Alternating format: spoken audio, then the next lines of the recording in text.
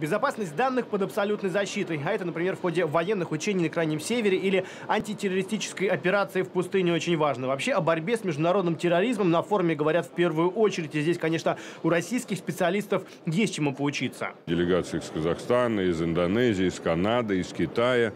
То есть вообще интерес, э, надо сказать, что вот этот рынок а, технологии борьбы с терроризмом или рынок технологий кибербезопасности, он глобальный.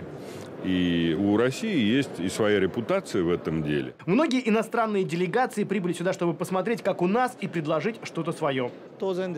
Япония и Россия сейчас обсуждают сотрудничество в области создания дронов, а именно в тех сферах, которые связаны с различными отраслями промышленности. Будущее уже наступило. Российский разработчик системы распознавания лиц, по сути, дал роботу глаза. Технология компьютерного зрения помогает бороться с банковскими махинациями. Вы просто открываете веб-страницу, клиент э, не должен ничего скачивать. Миллионы лиц в секунду. Система мгновенно распознает клиента. И взять, например, кредит по поддельным документам уже не получится. Если вы пробуете войти под моим аккаунтом, то есть, допустим, украсть мои, украсть мои деньги, ну, то есть система э, доступ вам запрещает. Современные технологии и в зоне досмотра лужников. Тут даже стеклянную бутылку не пронесешь, не то что пиротехнику. Вот это детектор взрывчатых веществ, вот это детектор опасных жидкостей.